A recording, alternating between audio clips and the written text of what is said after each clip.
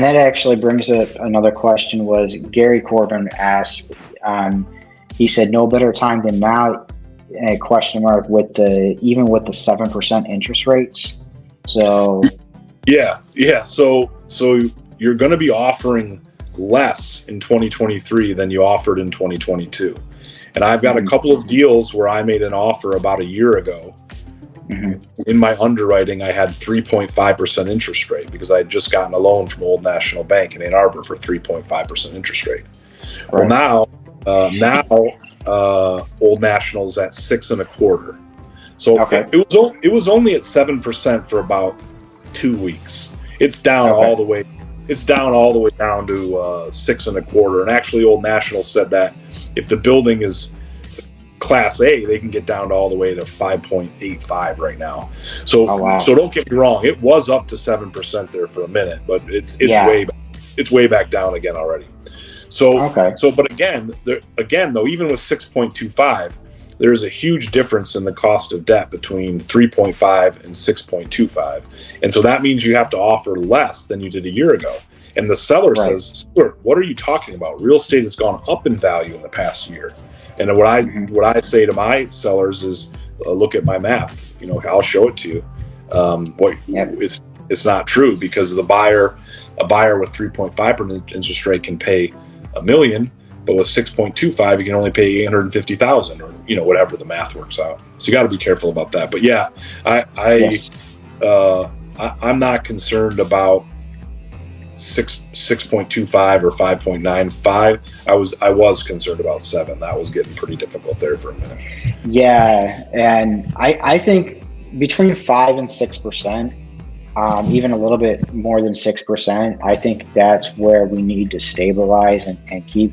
Because a lot of people don't realize that until for the you know for the past ex- with the exception of the past couple years you know for the past like say two or three years, interest rates have been at like six percent or above. You know, so yeah. So my first deal I ever did uh, in 2002 was at 5.25 percent fixed for five years, and yeah. then when when it got to the fifth year, I didn't really know what I was doing. I kind of messed it up a little bit. I, would never had a loan expire before, so it went gotcha. to floating. It went from 5.25 to floating. So I get a letter in the mail saying hey, your interest rate's 5.25. The next month, I get a letter in the mail saying it's 5.5. Then I get a letter in the mail saying 5.75. And I didn't know what to do, you know? Um, yeah. So, and so then I contacted my banker. This was back in 2007, you know, when I was like 24 years old. I said, hey, what do I do? He said, oh, you just got to refinance again on a five year. And we got it back down to like 5.25 again, I think. Um, right. So yeah, I, am not. I think that's I think that's where we're going to stabilize, to be honest.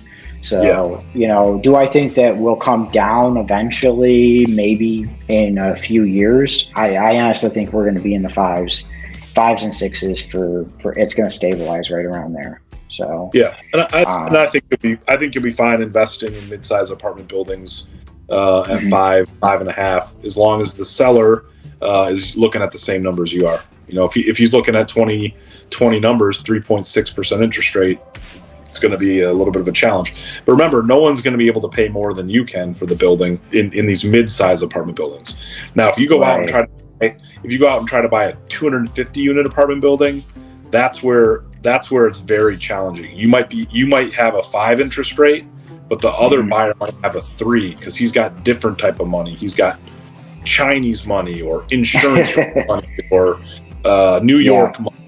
and so that and when you get to that level, it's it's harder to compete um, against the big guys. But on mid-sized apartment buildings, 20 units, 30 units, everyone's going to have the same interest rate. They're going to all be calling the same banks, and so you just got to offer what makes sense for you. Don't get too aggressive.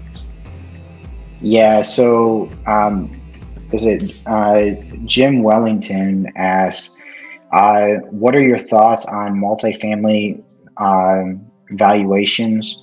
Um, many sellers have very high expectations on value, particularly if they're locked in a three to four interest rate, three four percent interest rates. Uh, a buyer now isn't getting that rate and most likely can't pay the price that reflects debt debt service at as much lower interest rates or current owners. So, uh, do you anticipate a some type of price correction in multifamily? Yeah. So the the person I'm going to be buying from in 2023 is a, a mom and pop seller. They've owned the property for a long time. Mm-hmm. They want to retire, and their kids want nothing to do with it. Also, they realize that they have not been reinvesting in this property. And so they've got some major items that they need to invest in. Maybe the city's cracking down on them, maybe their bank's cracking down on them. They get they have to replace the roof or the windows or the parking lot. Something that's going to cost a hundred grand. Yep. You know, Yep. and and these folks haven't been aggressive on their rent increases, so these buildings aren't cash flowing like they should, even though the debt is very low. They, they, Right. they're and when they're faced with an improvement that's going to cost a hundred grand or maybe even two, so there's going to be two hundred grand. You got roof and a parking lot. That's going to be a, a seller. And then the third thing, it's someone whose debt's expiring in 2023. Uh, so I, that just happened to me. I should have refinanced a loan six months ago, but I was like, yeah, it doesn't expire for another six months. I got, I'm busy. I'm buying these other properties. Now I have to Yeah. refinance it. I have to refinance it next month, and I'm going. I'm going from a 4.4 to a six. And Ooh. luck, luckily, you know, luckily I've been managing the property pretty well. It's going to cash flow at a 4.4 or a 6, so I'm going to be fine.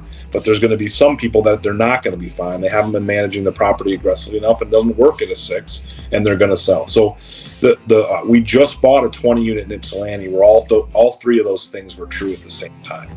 Mom and pop seller that's getting older, the city's cracking down saying, "Hey, you know, we, 2 years ago we told you had to replace this parking lot. You didn't. Now Yep. you're definitely going to have to." And then 3, the debt was expiring and so we we bought the 20 unit for a good price. So you're you're going to be looking for that type of seller. Um, you're definitely not going to buy a, a nice property, Class B or Class A, from a guy who's got three percent interest rate in 2023. You- It's not going to work. Um, So, so have you dealt with uh, any properties that are going to be, I especially in the multifamily where you want to do like a seller finance, where, uh, you know, they have a great interest rate. Uh, they just want nothing to do with the property. It's a mom and pop, like you said, and they're looking to retire and they haven't put much money into it. And they're like, well, you have this great interest rate. Let me either take over your loan and give you a partial seller finance or do a full seller finance. Have you done anything like that?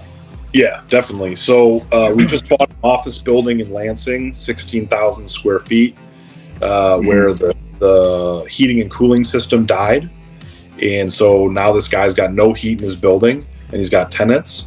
And I said, look, the building's not financeable right now, uh, but I'll buy it on a land contract. And so I bought a I bought a sixteen thousand square foot office building for twenty thousand dollars down um, uh, on a land contract. We've now put in a new uh, hundred and sixty thousand dollar heating and cooling system. We're gonna Mhm. do some, we're gonna do some uh, lease up uh, improvements and get this building leased back up, and then we're gonna do a cash out uh, refinance on the building. And so that that's an example. That's an example of uh, seller financing. And then on uh, loan assumptions, yeah, some loans are very attractive to assume right now because of the Mhm. low interest. Okay, awesome. So I had another one, uh, another question on here from Earl Harris, and I can't post it on here because it didn't come through here for some reason. But he said, uh, "What would be your recommendations or advice to someone starting out in trying to source uh, potential deals?" And I think we kind of talked a little bit about it, but he probably came in late. Uh, so I just let me reiterate a little bit of that is that you mainly have deals just straight come to you. Is that right?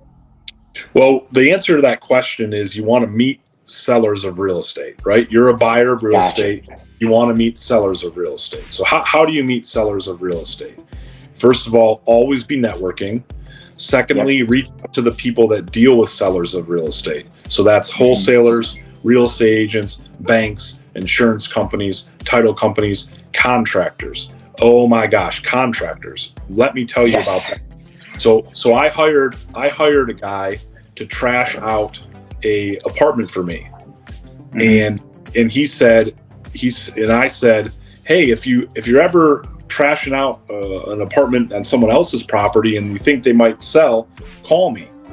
And one week later, he said, Stewart, I don't know exactly what to do right now, but I got this guy named Milo. He owns a 24 unit in Romulus, and he let it slip that this is the last job he's going to hire me to do because he's going to sell the building. So he was like, Hey, thanks for trashing out my apartment. This is the last thing you're going to do for me. I'm going to sell the building. I was like, Give me Milo's phone number.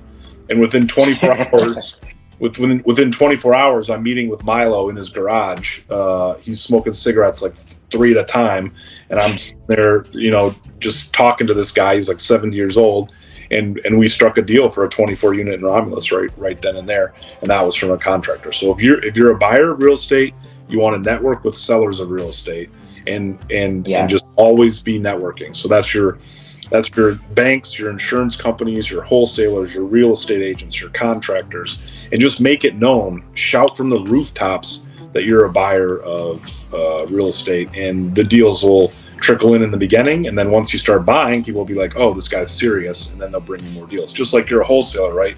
You don't spend a lot of time with people that you know that are not serious. You spend the most oh, time with people that you know are serious, repeat buyers, cash buyers and so you want to develop a relationship of seriousness uh, you know. Exactly. And you know i it's funny because when i have a cash buyer that i don't deal with very often i've never dealt with before i have a earnest money deposit for him versus a earnest money deposit for uh, somebody who's closed multiple deals with me. Right. You know? So it's it's a safety mechanism. it's, it's relationships. Yep yeah. 100%.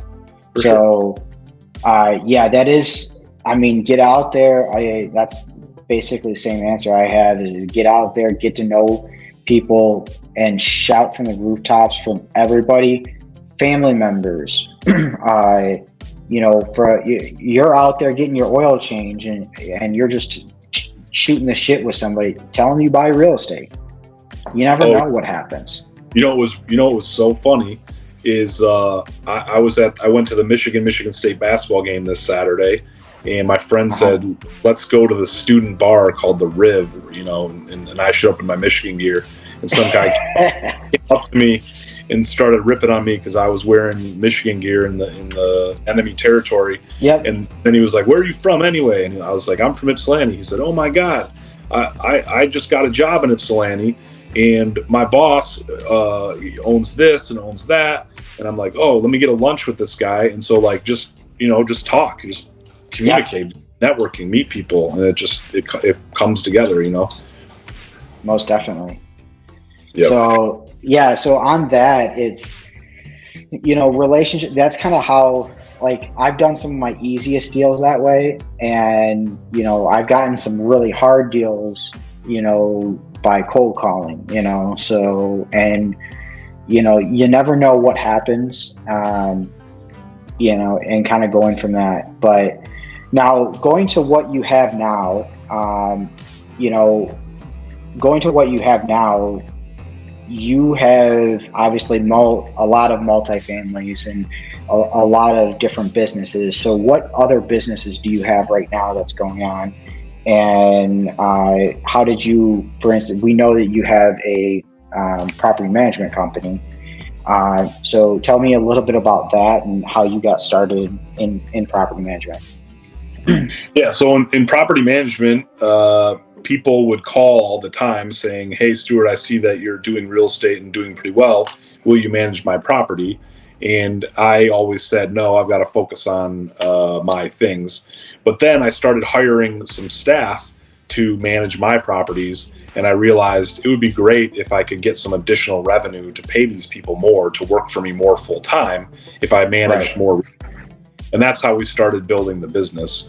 Uh, okay. Right now, we manage, uh, we manage about 500 properties uh, in 65 cities around Metro Detroit and you know about 400 of them are owned by other people but that allows me to have a staff of 65 uh, employees that benefit my properties and our clients properties and it's just right. a really robust, really robust staff. That's the that's the reason we started the property management company, and then we also help people with real estate investments. So I'm not here to help you buy and sell real estate, but if you want to invest in real estate with me, you can go to bealcapital.com and uh, you can invest in some of our smaller deals uh, as a non-accredited investor or if you are an accredited investor, you can invest in our real estate syndications, um, which mm-hmm. which uh, are the, the the deal mechanism we use to go after the bigger properties, the hundred unit you know properties.